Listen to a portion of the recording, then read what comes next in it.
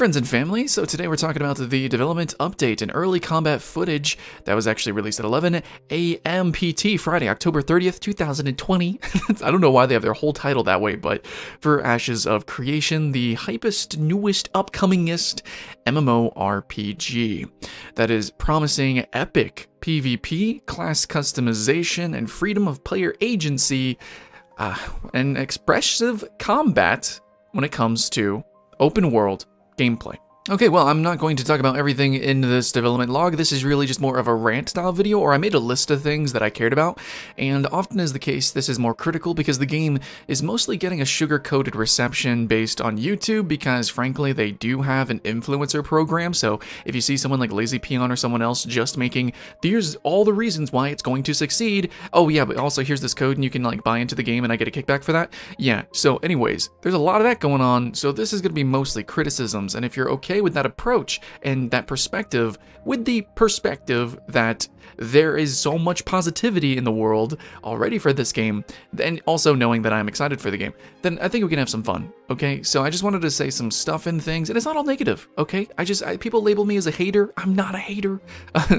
I'm just genuinely excited. I want it to succeed, and I do see some faults and problems um, with this that I want to, you know, I, I want to rant about. And if you guys are along for that ride, then awesome. Make sure to subscribe. We're going to get to 100k because we're awesome. Uh, we're doing this, family. But, um, yeah, okay, so this diary was um, pretty quick and clean. There, a couple of people dressed up. Neat. Okay. Um, but frankly, I also approach these videos, um, I really focus on what they show, less what they say. Uh, Kickstarters and MMOs in general, they sell themselves on dreams and what could be, and I know that's kind of also the point of these videos, but I want to talk about what they literally show, and then kind of you know how they play against what they're saying um, but focus focusing focusing focus on what is actually playable showable seeable for the most part but immediately the thing to actually mention here is that people who have access to the game who are able to play in the tests for until March 19th there is a non-disclosure agreement that you cannot upload your own footage. Now there might be maybe likely actually some specific YouTubers. This has happened with me a bunch of times with games like New World or some others. Uh, but some content creators sometimes um, they have influencer programs and they're allowed to maybe cover some certain things, but for the most part there's an NDA. So completely unbiased video footage and reviews of this game will not come out until March 19th. I'm making that note because, again, I do want to promote the idea that all of what you are seeing so far on YouTube is sugar coated. That just frankly it is. It's totally biased, um, except for me because I'm awesome. But also to know that okay, the NDA drops March 19th, and if you're like me and you're a content creator, you might not even want to start playing until then, uh, buy in until then. March 19th, backers and stuff will be able to play the game, and that's also March 19th is going to be really hype because that's when you're going to see tons and tons of content come out. So it's not just like, oh, this is when we get to see the real bad, you know, glitches and stuff like that. No, this is probably when the game is is well enough along that uh, they deemed it worthy enough that the NDA can drop and that it's going to be really fun to play. And these people are going to do maybe, I don't know, cosmetic mount offs and things like that, you know from Asmongold, uh, you know, transmog competitions. This is when people are going to do the PvP montages. This is when people are going to do the let's plays and obviously first impressions and reviews, sure. But yeah, no, it's it's going to be a fun time. March 19th is something to to be really excited for. But I also wanted to mention this because Okay, look, I know there's sort of a gray area with this because people technically invested in the game and then were gifted keys out of the goodness out of their heart to be able to play the game early and test it, you know, work for them for free. But personally, I'm of the belief that if you paid money for a game, how the how the fuck can they say that there's an NDA? You bought the game basically. I don't care what they call like really developers have all the power to say, "Oh, it's beta, oh, it's in this state or what have you." If you spent money and there's even a cash shop in the game, if you can do this stuff, uh, it, dude, the game's released. The game is out. It just sucks. That's it you know? So whether a game is technically gold or released or beta, that's all completely arbitrary bullshit now. So if you're a backer and you can play the game and you're basically working for free, even though this game has made an insane amount of money and totally can hire playtesters, you're kind of doing it for free I can't believe that they won't let you uh, record it, especially because, uh, you know, this game is kind of known for its apparent transparency and apparent, um, you know, publicity. Like it's it's really good with its public works, with its uh, communication uh, in terms of social media communication, in terms of advertisement and marketing. It's really smart and really good, but at the same time, it's kind of a facade. Um, if they truly were open and completely just abundantly honest, there wouldn't be an NDA. And obviously, that's asking too much. I get it. And it's a Kickstarter game. I get it, dudes. But I'm just saying, it's something that I just feel really shitty about. You know, as somebody who grew up with dreams, I really did. I dreamed of like, oh man, one day I'm gonna be a game tester. And then it's like, that kind of doesn't exist the way that it used to. Um, that whole basically basically people just do it for free.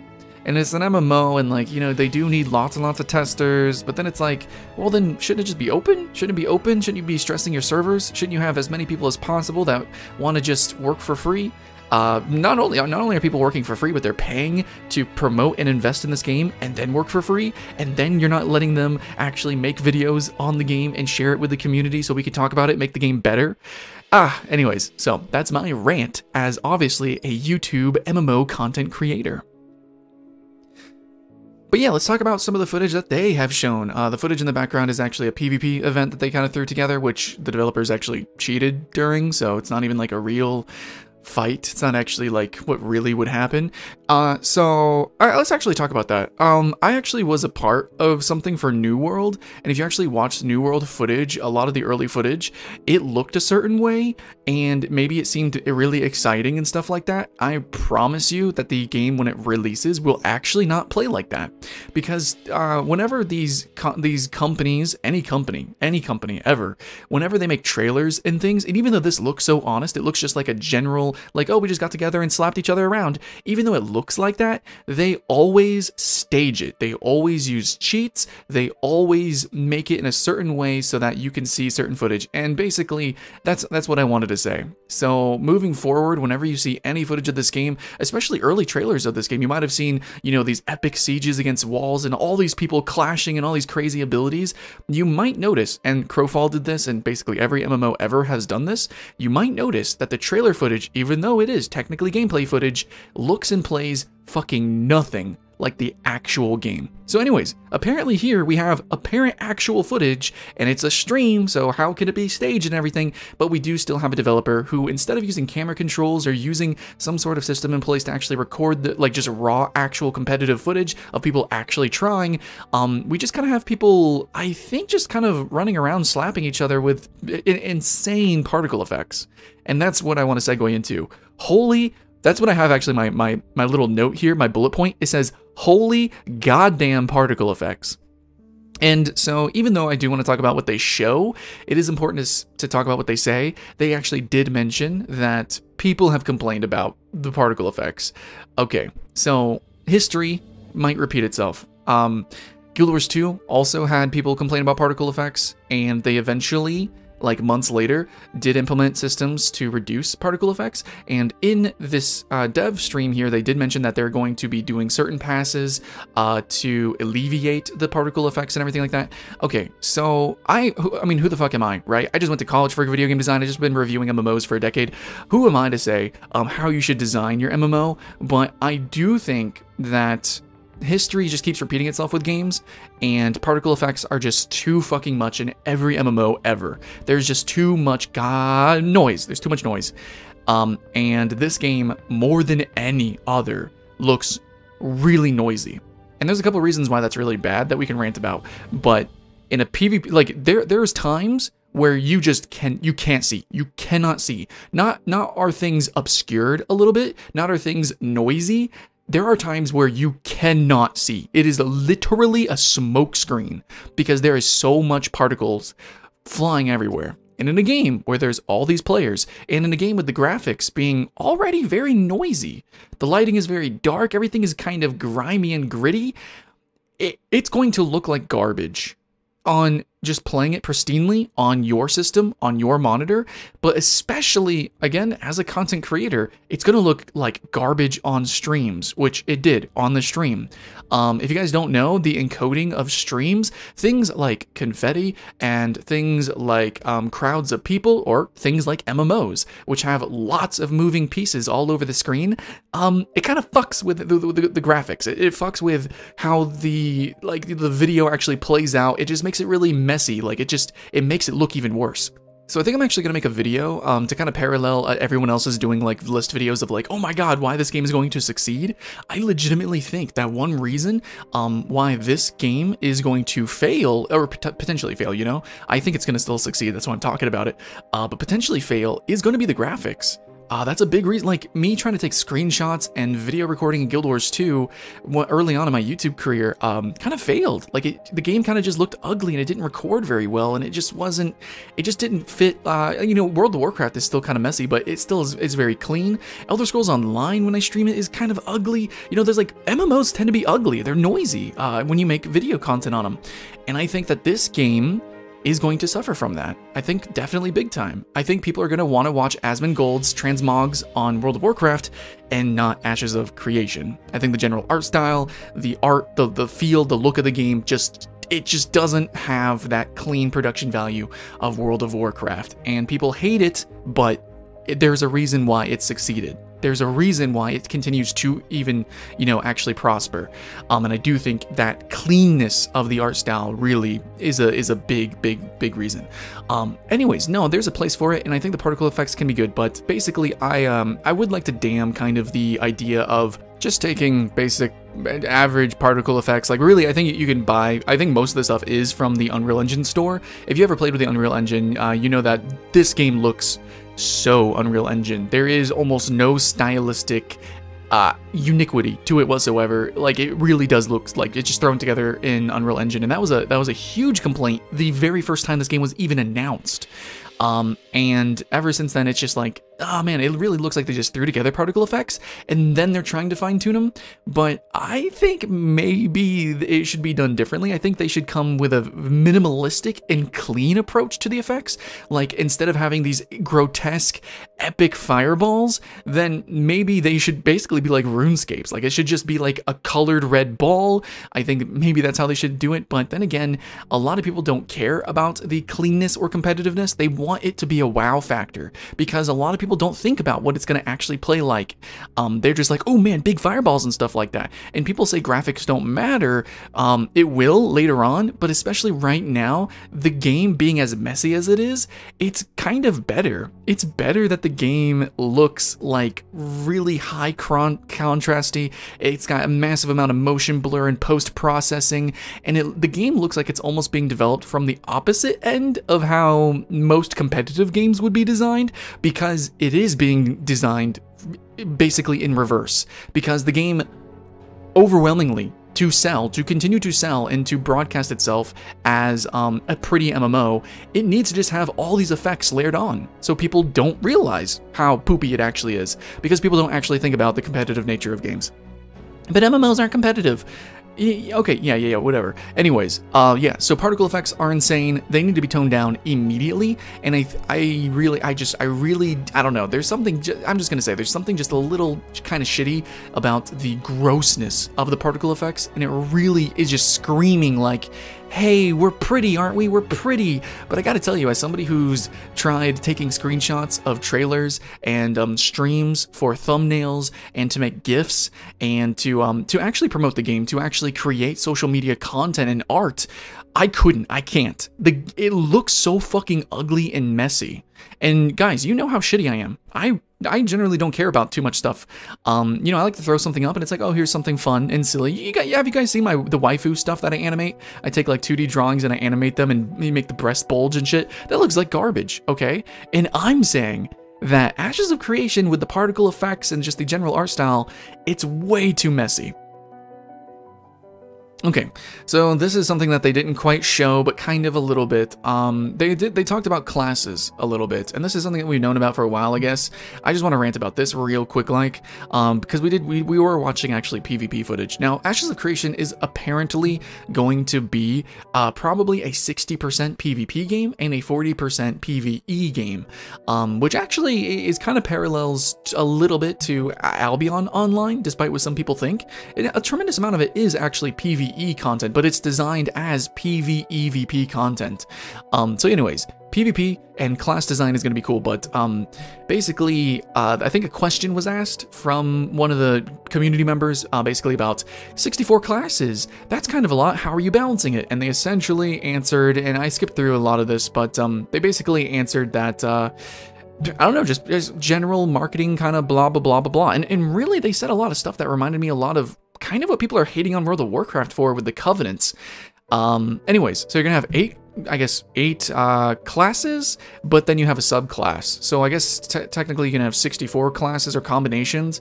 Um, I think 64 unique classes, something that you might see in like a MOBA where you have entire unique character kits, that sounds really cool. It's been a long time, I think, since we've had um, a game that really had that many classes. I think um, ArcheAge actually did it real well, um, you know, with the mixing and matching. And I think a lot of action RPGs let you do kind of stuff like this, sure. But um, in a game like this, 64, and then just the general archetypes that they have that you can actually see on their website, by the way, um, basically it comes down to Bard, Cleric, Fighter, Mage, Range, I don't, Ranger, um, Rogue, Summoner, and Tank. And there's, I just want to talk about that. Okay, so can we just rant about that? Actually, there's, there should probably should be a whole, okay, I'm to do a whole nother video on that. You know what? Yeah, a whole specific video on just that, I think. But um, basically, I don't think it's going to work like some people think it will. I'm excited. You know, I really liked, or I was I was hyped for the uh, systems in ArcheAge. I'm really excited about kind of making my own class and um, having my own unique identity in a game. I think it's uh, pretty fun. But I've been playing World of Warcraft, and I love the specific quests and the fantasy and the story revolved around certain ones. Um, like especially like uh, I think if you guys uh, got, got leveled up and did the class order hall uh, stuff, um, then you're gonna have a lot of fun, especially with Warrior, Death Knight, um, you know, uh, Demon Hunter, yeah, Paladin. There's some really epic stuff with that. So basically, what they're saying is they're not gonna have that. Okay.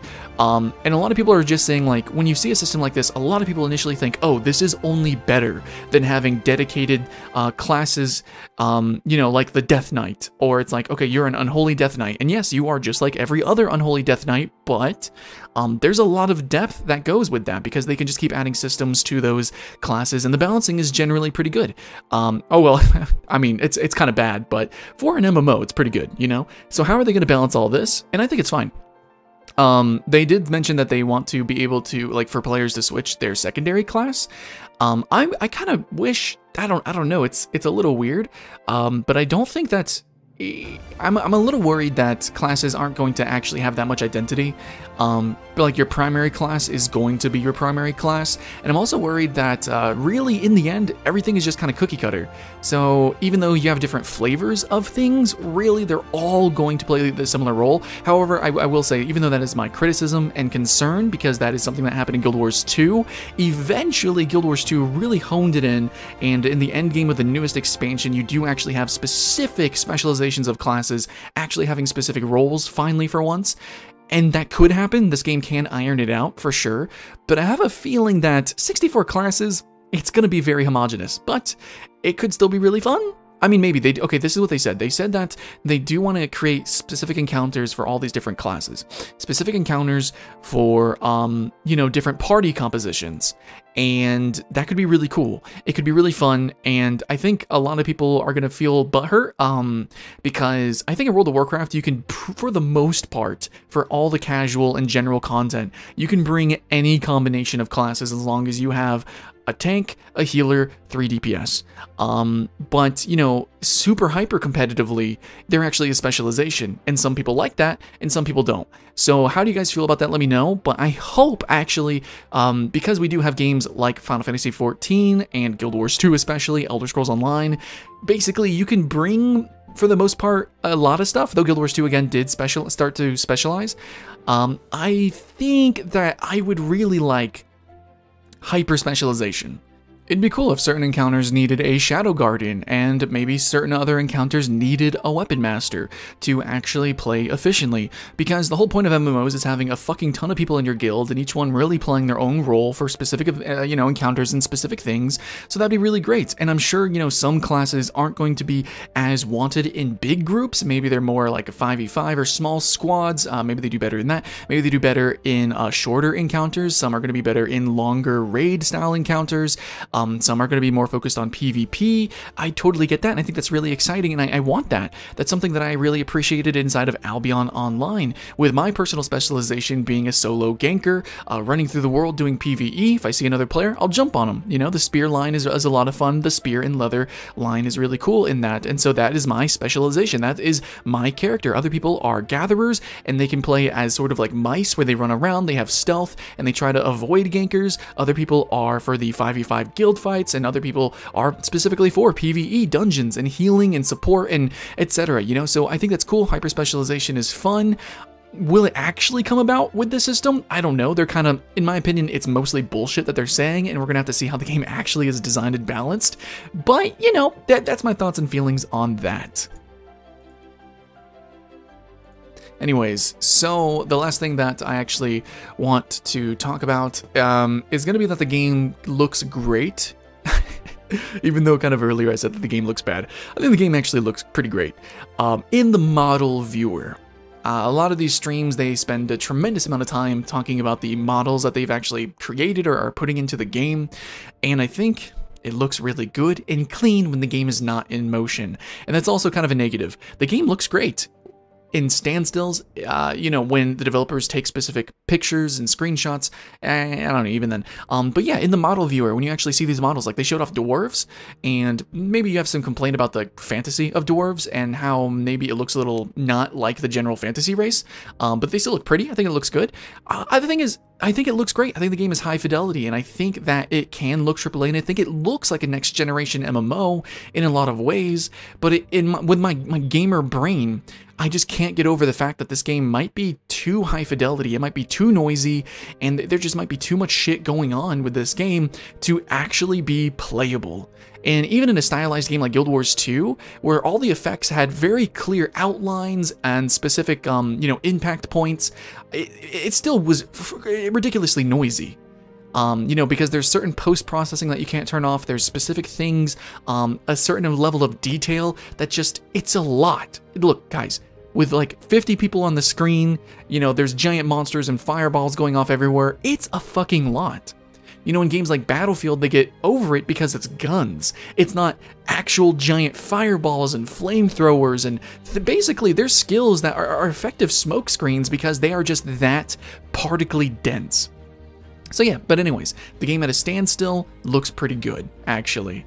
So how that's actually going to unravel and work, I don't know. But I have a feeling if you think Elder Scrolls Online looks decent, then you're going to have a lot of fun with Ashes of Creation. If you think Elder Scrolls Online looks like garbage, then you are going to hate Ashes of Creation, in my opinion. Me, I liked World of Warcraft. I actually liked Guild Wars 2 a little bit, except for, again, the particle density and the post-processing I can't turn off. I think that stuff is really cool, and honestly, I'm kind of a weeb, and as much as I hate the particle fuckery of Final Fantasy XIV, at a standstill, that game actually looks pretty good too. So what's going to work for which audience, I don't know. I know there's biases involved, so please let me know in the comments below what do you think, but I gotta say, at a standstill, similar to Final Fantasy XIV, it looks good, but in action, and again, Final Fantasy XIV is not a PvP game, so add add all the ridiculous bullshit of all these particles in PvP, and it's starting it look it's starting to look kind of scary. It looks it looks it looks bad.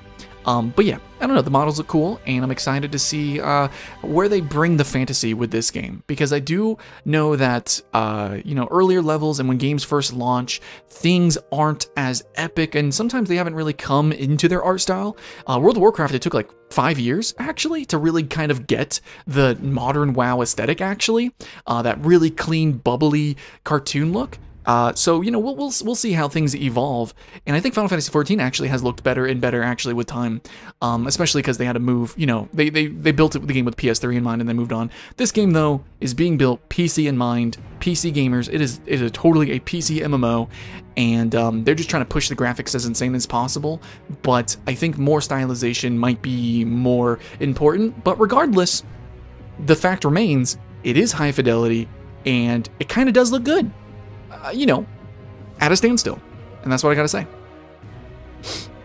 Anyways, I know that I'm not really saying everything about this development update. Um, you know, it's an hour and 31 minutes where they say a whole bunch of stuff and things. This is just my rant and ramble that spawns from me checking out this development update. I'm not here to be, you know, an intermediary for you actually doing research of your own and looking up the news of this game. And there's a bunch of other YouTubers who are just totally fine, completely regurgitating and throwing up whatever they just fucking read on their website. So I'm here to just, you know, give you opinions, thoughts, and things and review this game as it actually launches. You know, I'm, I'm trying to be that character. That's the character I'm playing. And if you guys think that's fun, awesome, then subscribe and, you know, bump the thumb and stuff like that. And definitely join us in the comments below. This video is going to get some comments. We're going to have some fun. So yeah, much love, guys. Uh, what do you guys think about uh, Ashes of Creation so far and, and the bullet points that I talked about? Uh, let us know, Keyboard Warriors. And what class are you guys going to play? And don't worry, I'm going to record that video talking about the class designs coming right up. Alright guys, keep the hype alive. I'll see you again next time.